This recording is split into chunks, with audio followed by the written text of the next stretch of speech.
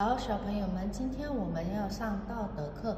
那小朋友们拿道德作业书，然后打开第十二页。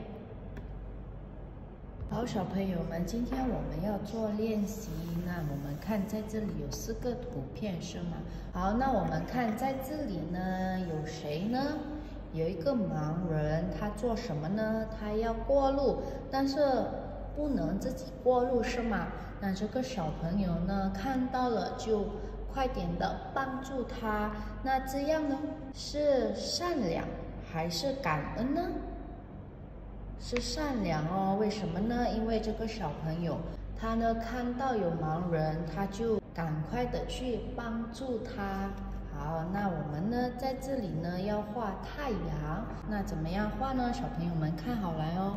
首先呢，先圆圈，然后我们画它的旁边，树这样子，我们画全部哦。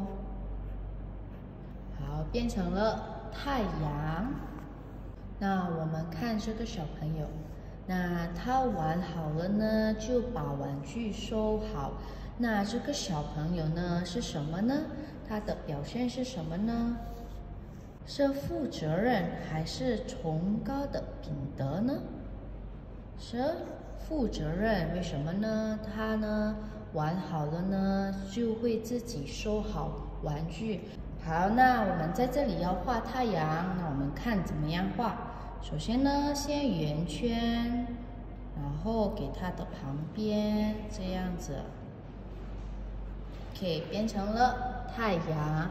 好，那我们看下面的哦。好，那在这里你们看，他做什么呢？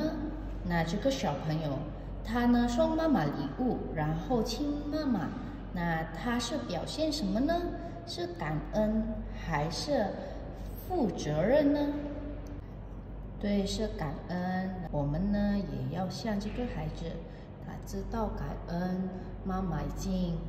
给我们做了很多事啊，给我们去读书啊、吃饭啊，很多事嘛。那我们要感恩。那我们在这里呢，要把它画太阳，我们把它画太阳在这里哦。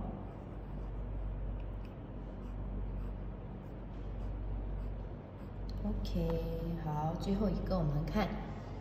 在这里呢，这个小朋友他不知道他的东西跌倒了，那别的朋友看到了呢，就把它拿起来，然后赶快的跑去叫他。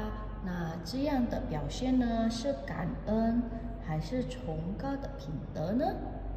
是崇高的品德。那我们在这里呢，把它画太阳。